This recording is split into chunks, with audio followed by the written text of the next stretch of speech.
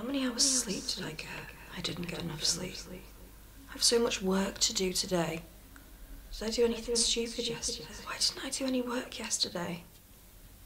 I'm gonna be tired all day. I've got so much to do. Everyone else has done loads.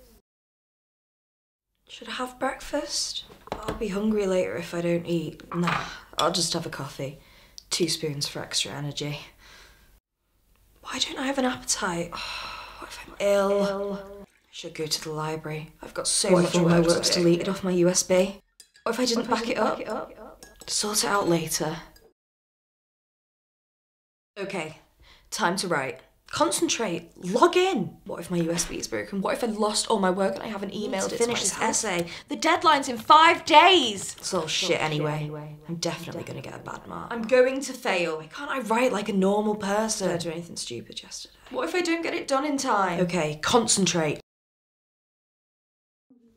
Didn't I just finish my essay in the library earlier? How can I sit here doing absolutely nothing when I've got so much I should be doing? I should have stayed there. Why can't I just have my shit together? Everyone else is fine. I bet they all think I'm not good enough. Why have they already finished their essays? Why am I so behind? Get yourself together!